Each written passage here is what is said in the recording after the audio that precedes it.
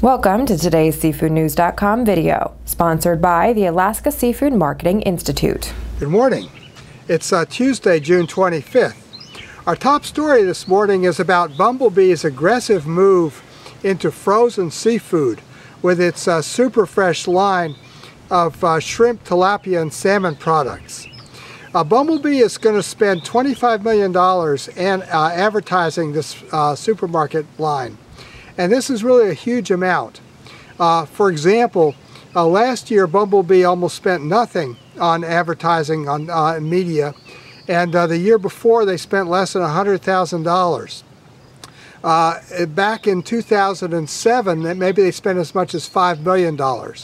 So this $25 million ad buy really represents a huge and aggressive uh, commitment by them to uh, jump into this space of uh, premium frozen seafood entrees.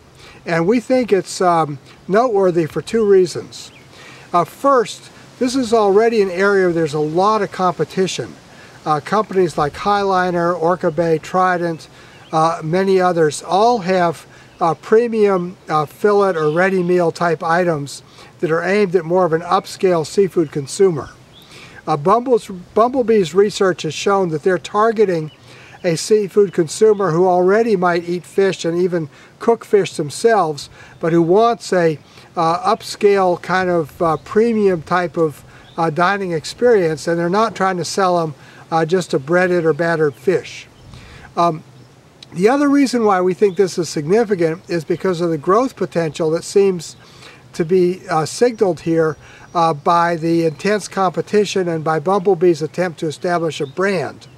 Uh, in their research, Bumble Bee found that there are no uh, consumer brands that uh, really come to mind uh, on the part of customers when they think about frozen seafood entrees. So they say saw an opportunity to leverage uh, the brand recognition they already have with their tuna. The other thing that's interesting about this is that retail seafood is clearly an area where companies see seafood growth. Uh, retail seafood has, has been done much better than uh, food service operators and, and throughout uh, the last few years when there's been economic problems and supply problems. Uh, and retail seems to be a growth driver in the seafood industry. So what we're seeing is more uh, complex, more sophisticated products, a greater product range.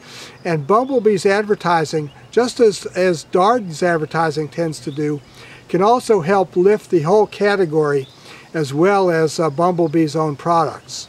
Uh, I think it's a really uh, noteworthy move. In uh, Nantucket, Mass, this is John Sackton.